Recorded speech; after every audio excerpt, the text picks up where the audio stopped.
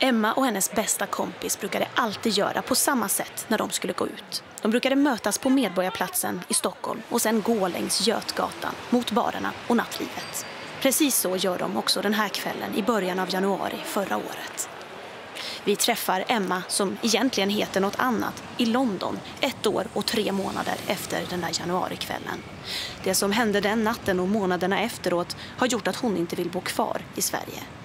Hon och kompisen träffade ett gäng killar på en bar. Det sista Emma minns är att hon dricker en shot tillsammans med en av killarna. Sen blir det svart.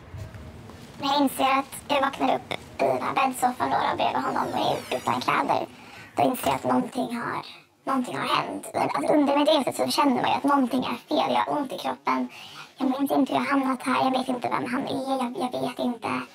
När Emma förstår att hon blivit våldtagen anmäler hon mannen. Det blir rättegång. Bevis finns. På Emmas kropp men också i mannens mobil. Han filmade delar av våldtäkten. Han döms till två års fängelse, minimistraffet för våldtäkt. Åklagaren vill ha ett strängare straff och överklagar. Men mannens straff sänks då med två månader lägre än minimistraffet. Hovrätten motiverar det med att mannen förlorade sin taxiförarlegitimation när han dömdes i tingsrätten. Jag tycker att två år är lite till att börja med.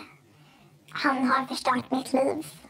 Alltså in, inte bara psykiska problem som har kommit efter det här utan jag har fysiska ärr på min kropp efter han har skadat mig. Jag vet inte, jag tycker inte att det är rättvist. Jag, jag tycker att det är ett hån. Nyheterna har granskat hur långa fängelsestraff våldtäktsmän får i Sverige.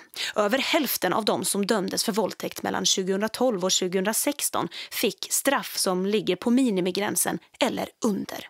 Och 13 procent, eller 83 personer, fick mindre än ett års fängelse. Efter rättegången mot Emmas gärningsman började hans vänner följa efter henne.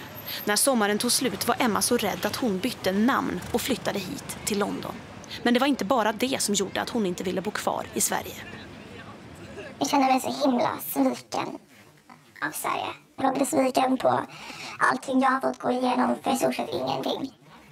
Jag känner att jag fick inte den rättvisan som inte bara jag förtjänade men alla andra som varit igenom det här. Det, det, så, så att jag lämnade och kände att jag vill inte bo här. Jag vill inte betala skatt. Jag vill inte, jag vill inte stötta vill inte ha någonting med Sverige att göra.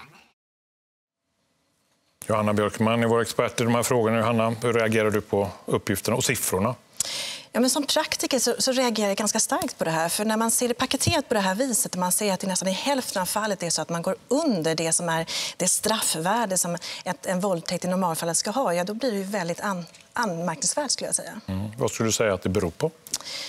Ja, det finns en möjlighet i lagen att helt enkelt utdöma straff som är lindrigare än det som är minimistraffet enligt lagen. Och då handlar det om att man i särskilda fall, i enskilda fall, ska ha sådana omständigheter som är så pass allvarliga och så pass viktiga att man kan gå under. Men det innebär då att man i de här fallen, framförallt eh, det vi oftast talar om, det är att det är unga gärningsmän, då hamnar man ju ofta under minimistraffet. Så ska man i vilket fall från domstolarnas sida alltid kunna argumentera för varför man har satt ett så lågt straff. Så min utgångspunkt när jag hör de här sakerna och de hör de här siffrorna det är ju att i de här fallen som det handlar om så ska det finnas motiverat väldigt ingående varför man har valt de här låga straffen. Mm. Om ambitionen skulle vara att det skulle bli hårdare straff, vad krävs för att det ska bli så? Ja, det krävs ju, det här är en diskussion som pågår hela tiden. skulle jag säga. Att Vi har, ser en tendens hos domstolen att ligga väldigt lågt. Nu är det inte så att vi alltid ser att det är den här tendensen att man kommer under straffminimum, men, men man ligger väldigt lågt. Man har en, en rädsla för att, att, att eh, helt enkelt utdöma ordentliga straff därför man inte riktigt vet vad som komma skall. Det är lite den känslan. Så egentligen helt enkelt en, en, en förändring hos domstolarna skulle jag säga för att våga döma ut längre straff.